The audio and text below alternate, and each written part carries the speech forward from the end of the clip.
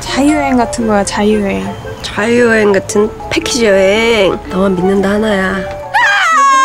하나와 테리 도착을 했습니다. 야! 여기 봐봐. 야 진짜 예쁘게 나와.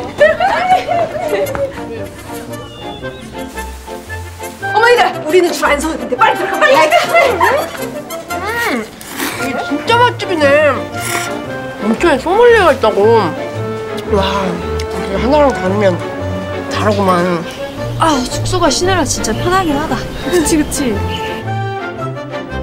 우와 좋다 아 이런 여행 얼마만이야 그니까 근데 이런 여행은 누구 아이디어냐? 세상 기발한 여행 하나 국제여행지에 다 있다는데?